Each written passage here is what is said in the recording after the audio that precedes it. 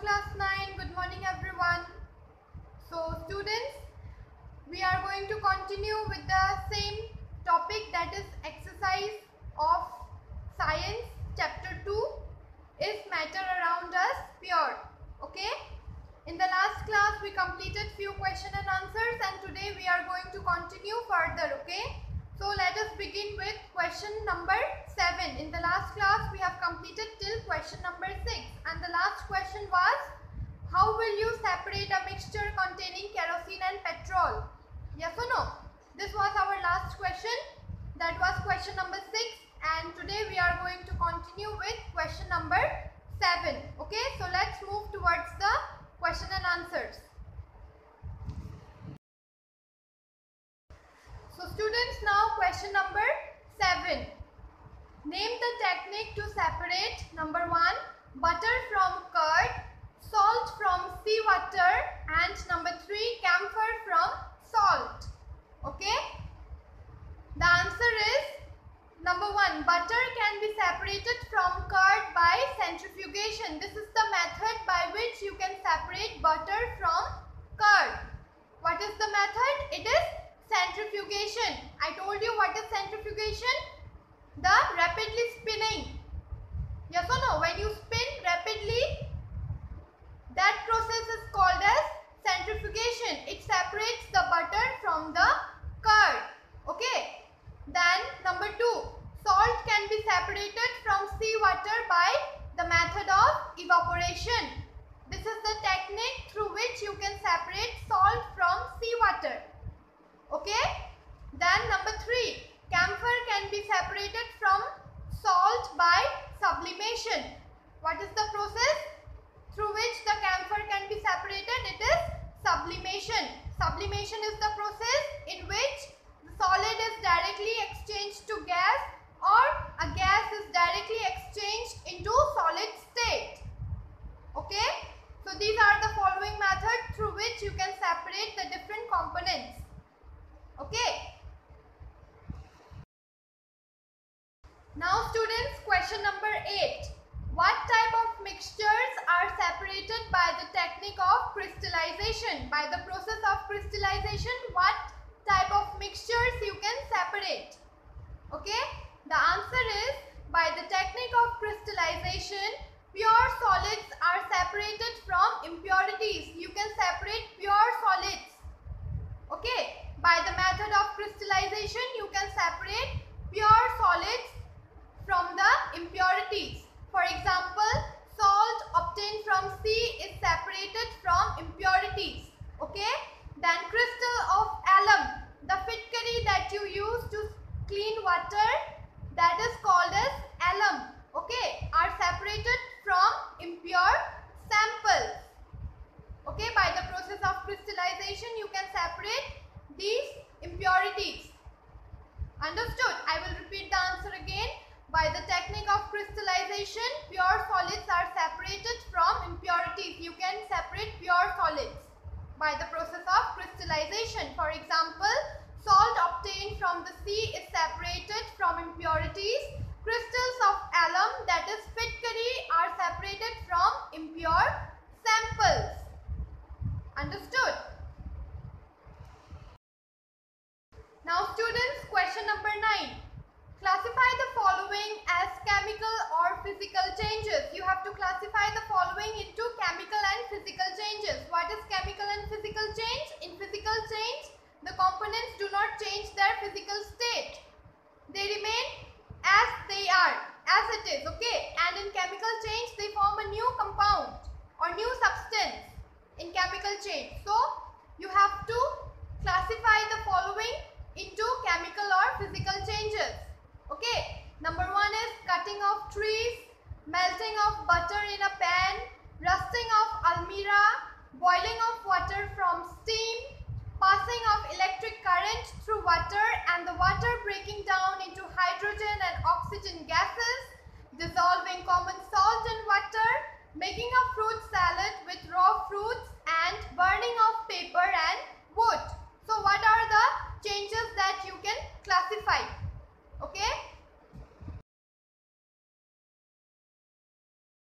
So students, the answer is cutting off trees. it is a physical change. That means there is no change in this compound, okay? When you cut a tree, it is a physical change. Okay, that means you are cutting the tree. Okay, then melting of butter in a pan. That is also a physical change. From semi-solid, it turns into liquid. Physical change.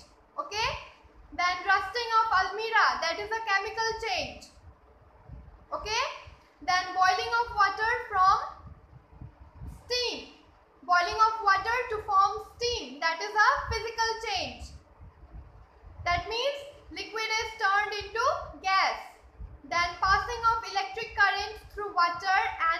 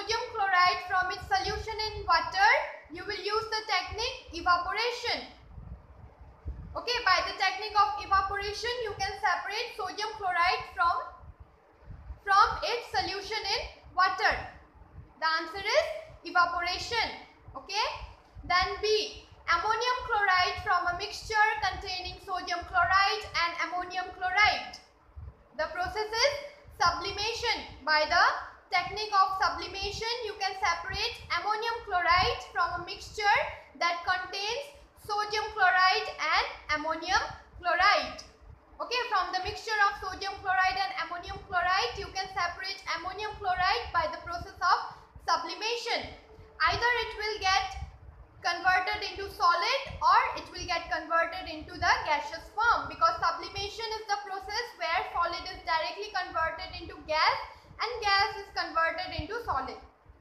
Okay. Then C. Small pieces of metal in the engine oil of a car.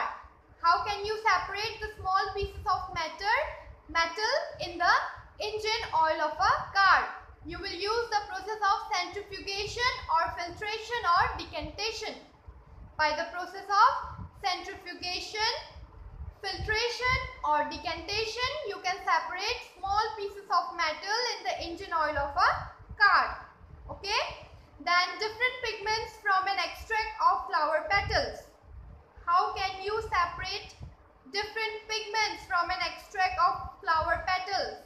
It is a chromatography. What is the chromatography process? It is a process through which you can separate the pigments from a substance. Yes or no? The color pigments from a substance. So the process is chromatography. Then E, butter from curd. You can use the process that is centrifugation. Okay. F, oil from water. How will you separate oil from water? By using separating funnel. By using separating funnel, you can then tea leaves from tea. By the process of filtration, you can separate tea leaves from tea. Iron pits from sand. By the process of magnetic separation because iron is iron can be the magnet can attract iron yes or no if you use magnetic separation the magnet will attract the iron from the sand and hence the magnet can be separated from the sand. Okay? Then wheat grains from husk. By the process of winnowing you can separate wheat grains from husk. The process is winnowing. Okay? Then fine mud particles suspended in water fine mud particles suspended in water can be separated by the process of centrifugation. Okay? So students now question number 11 write the steps you would use to make tea. Use the word solution solvent solute dissolve soluble insoluble filtrate and residue question again. Write the steps you would use for making tea. For making tea, you have to use the steps by and the words you have to use are solution, solvent, solute, dissolve, soluble, insoluble, filtrate and residue. By using these words, you have to mention the steps for preparing tea. Okay. So, the, answer is the steps used for making tea are First, water is taken as a solvent in the saucer pan. You will take water as the solvent. That means water to be taken in larger amount as the solvent in a saucer pan. Number two, this water that is solvent is allowed to boil. Okay, the water that you take in the saucer pan is allowed to boil that is solvent. Then during heating milk and tea leaves are added to the solvent as solutes. Milk and tea leaves will be the solute because they are going to get mixed into the water that is the solvent. That is why this tea and tea leaves and milk are called as solvent. Okay and later they form a solution. Okay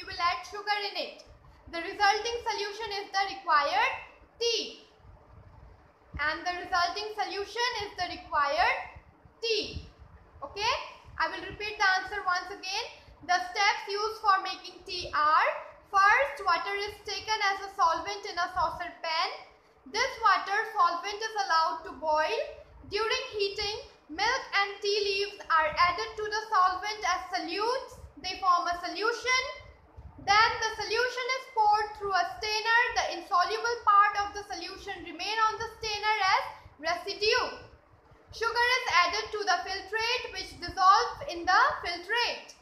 The resulting solution is the required tea. Okay. So students now question number 12.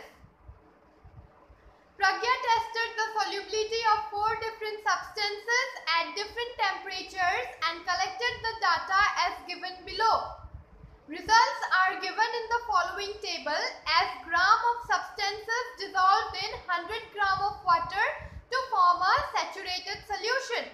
Here Pragya has tested four different substances okay to check the solubility in at the different given temperatures okay the temperatures are given that is 283 Kelvin 293 Kelvin 313 Kelvin, 333 Kelvin and 353 Kelvin. These are the different temperatures that is given and she has tested the four, the four substances that is uh, potassium nitrate, sodium chloride, potassium chloride and ammonium chloride. Okay, these are the different substances that she have tested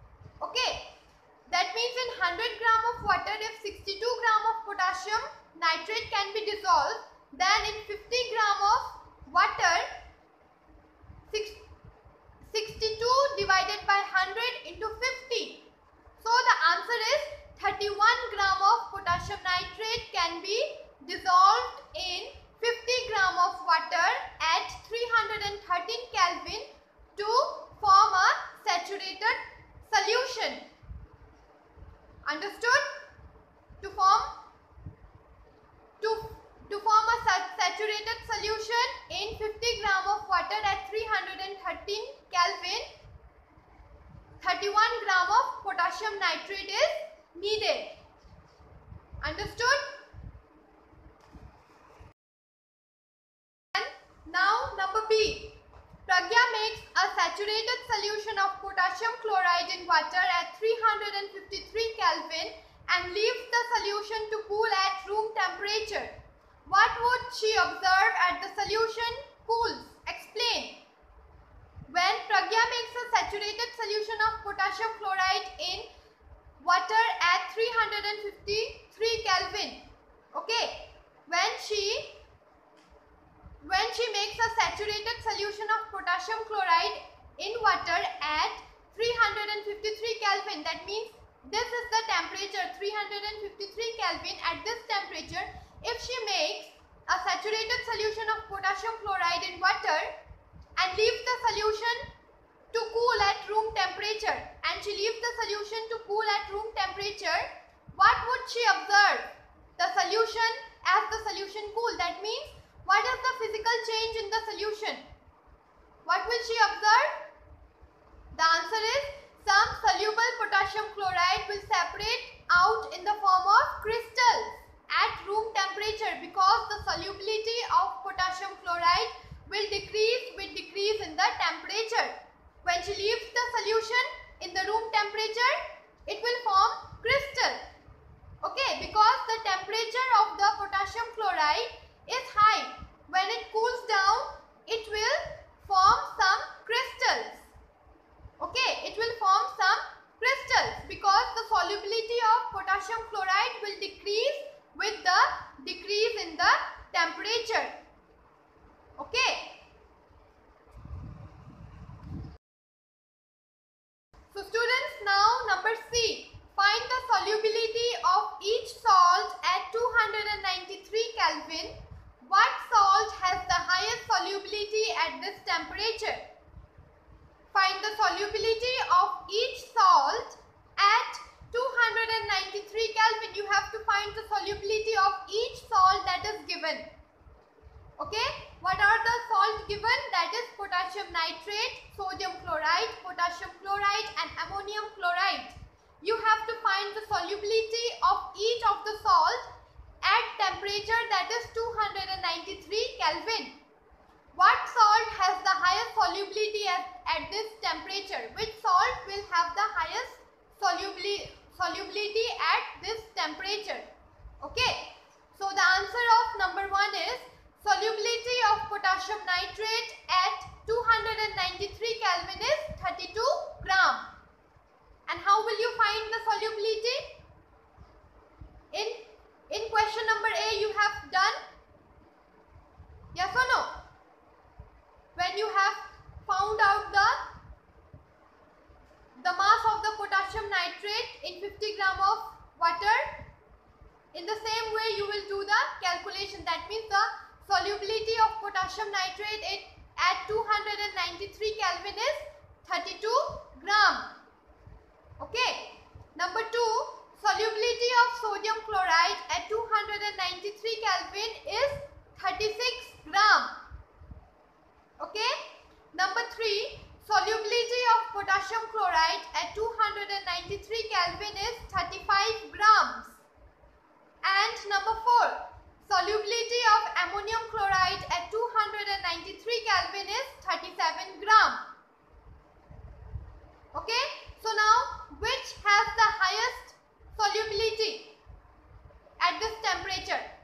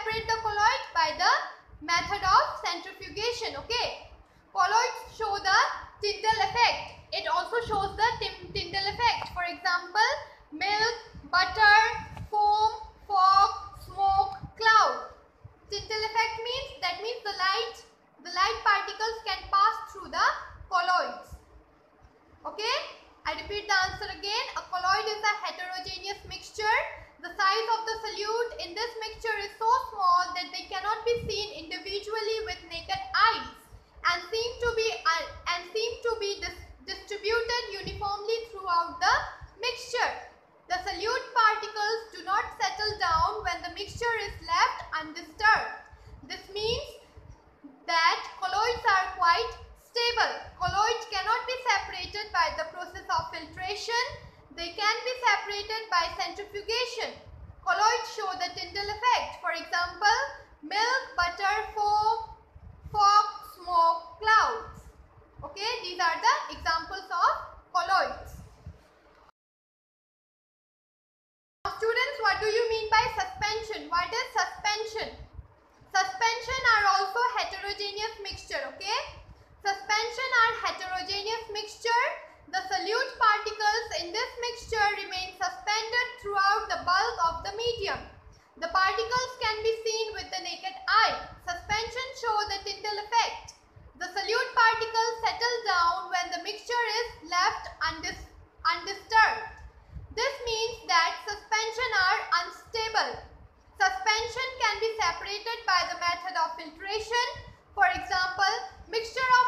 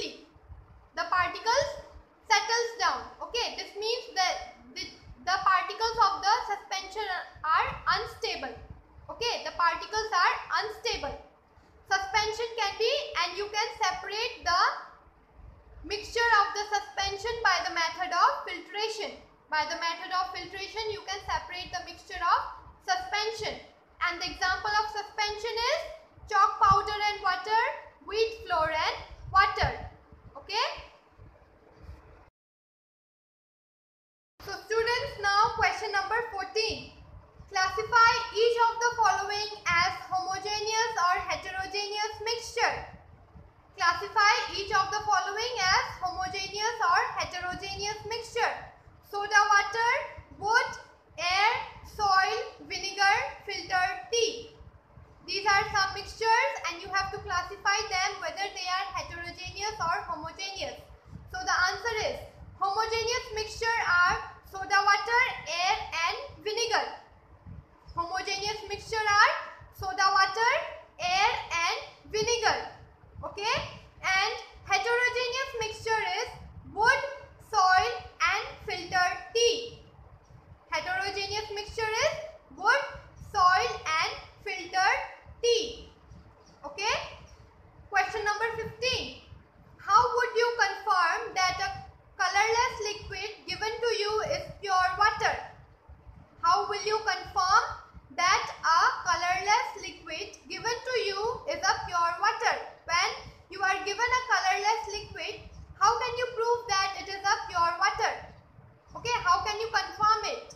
The answer is every, every liquid has a characteristic boiling point. Yes or no? Every liquid has a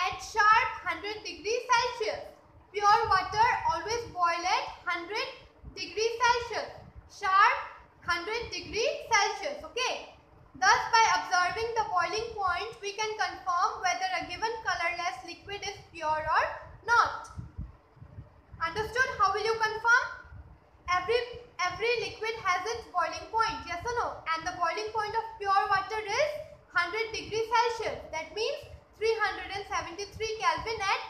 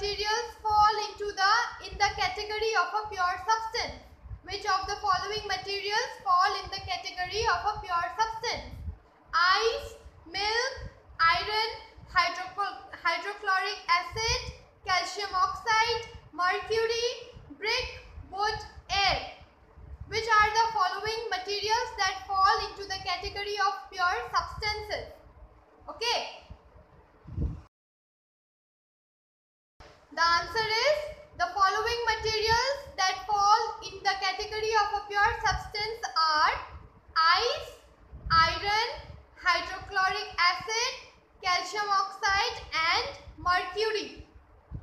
Okay, these are the following substances that fall in the category of a pure substance that is ice, iron, hydrochloric acid, calcium oxide and mercury.